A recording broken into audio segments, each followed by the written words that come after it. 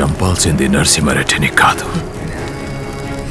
ఈ బానిసల్లో వాడు పుట్టించిన ధైర్యాన్ని. మనకు వీడి చావు ముఖ్యం కాదు. వాడు దోచుకెళ్తున్న సంపద ముఖ్యం. అది మనది. మన ఆత్మ గౌరవం గడ్డి పరక కూడా గడ్డ దాటకూడదు.